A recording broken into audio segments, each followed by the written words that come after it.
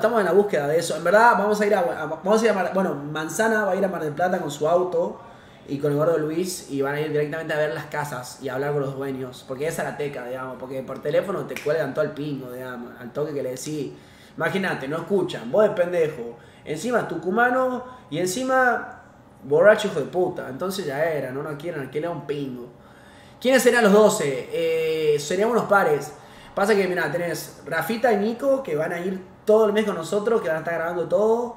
De ahí yo, Joselo, Facu, eh, calculo que el gordo Luis, Manzana, eh, el flaco Poison, eh, el flaco Poison, el flequillo del Poison, entre otros, el enano Merquero, eh, no sé si viene el Sisi, unos pares de personajes, vamos a hacer unos personajones ahí instalados. Pero bueno, vamos a ver si nos quedamos todo el mes, si no nos quedamos todo el mes. Eh, yo creo que sí.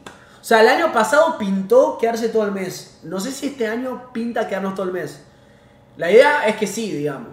El año pasado estábamos de, ruta y no, que, no, queríamos, no queríamos irnos más. Es que es un delirio, amigo. Es que este año Marvel ser un delirio. Ya si este año fue un delirio, no me quiero imaginar este año eh, las cosas que van a pasar. Eh, pero bueno, yo estaba, yo estaba muy. Estábamos muy en una, boludo, los vagos este año, boludo. La verdad.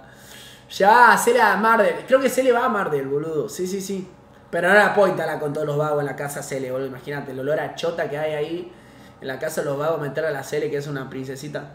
No, no, no queda mucho, boludo.